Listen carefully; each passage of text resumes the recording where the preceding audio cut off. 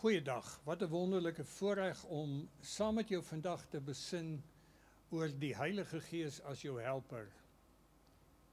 Toe ek jare gelede 'n dosent was, het ek dikwels so na die studente gekyk en dan kyk hulle na my. Hulle wil so graag gehelp word, maar ek mag nie, ek kan nie. Maar so dikwels skryf ons ook 'n toets in hierdie lewe en dan wens ons ek het net iemand om my te help Nou ek het goeie nuus vir jou. Die Heilige Gees is ons helper. En ons gaan hierdie week praat oor die Heilige Gees wat jou help en hoe hy jou help. Want die Heilige Gees is die belangrikste persoon in jou en my lewe. God die Vader is in die hemel. Jesus sit aan die regterhand van God die Vader. Maar hy het gesê ek sal die Vader bid het Jesus gesê en hy sal die Heilige Gees stuur om met ons te wees. Maar het ons die Heilige Gees dan nodig? Ja, ons het. Die Here Jesus sê vir ons opgeteken in Johannes 16 vers 33: "In hierdie wêreld sal julle dit maar moeilik hê. Maar hou goeie moed, ek het die wêreld klaar oorwin." Maar wie in hierdie moeilike wêreld het ek en jy stryd en ek en jy konflik. En omdat ons onvolmaakte mense is, al is ons kinders van die Here, het ons hulp nodig. En die helper is die Heilige Gees. Want die Here Jesus het gesê, ek los julle nie as wese nie. Ek gaan die Vader bid en hy sal iemand stuur, die trooster, die helper om by julle te wees. Maar dit weet nie jy nie. Baie keer dan sê ek Here maar ek het 'n stryd en ek kry nie oorwinning nie. Of jy lees miskien wat in Lukas 11 staan oor gebed.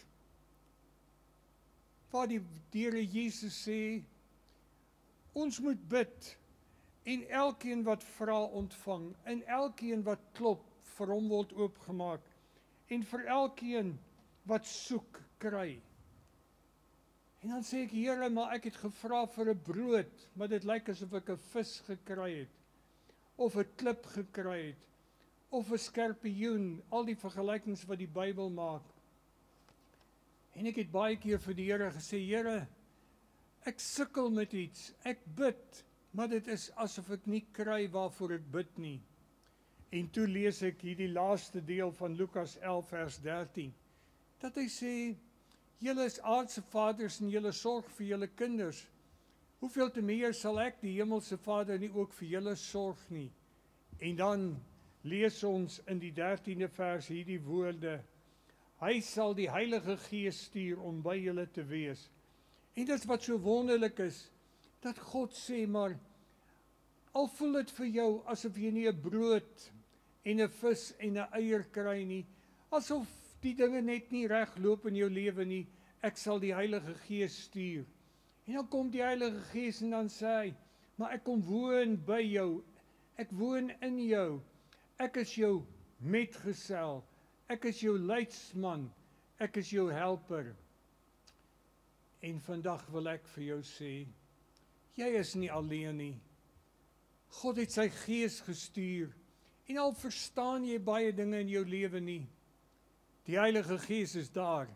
Die Heilige Gees is jou helper, hy is jou metgesel. En weet jy, hy is by jou terwyl jy voel maar ek ek word getoets, ek word beproef. Dis moeilik, sê die Here, maar ek het my Gees gestuur. En my Gees sal jou help, my Gees sal jou dra, my Gees sal jou help. Daarom is dit vir my wonderlik om jou uit te nooi om hierdie week saam te kyk na hierdie wonderlike waarheid, hierdie groot waarheid, hierdie lewensveranderende waarheid naamlik dat die Heilige Gees gestuur is om ons in die gebroke wêreld te help sodat ons vrede kan hê, sodat ons kan aangaan, sodat ons sin kan beleef. Kan ek vir jou bid dat die Heilige Gees 'n werklikheid in jou lewe in elke faset van jou lewe sal wees. Kom ons bid saam. Baie dankie Vader dat U die Heilige Gees gestuur het. Die Heilige Gees wat by ons is, in ons is om ons te help. En al verstaan ons nie aldag nie, het ons die Heilige Gees by ons. Al gebeur dinge nie aldag soos wat ons dit graag wil nie, is die Heilige Gees daar om ons te dra, te onderskraag en te help. Baie dankie Here dat ek nou vir mense kan bid wat op hierdie oomblik in konflik is. Maak hulle bewus daarvan dat u Gees daar is om hulle te help. Amen.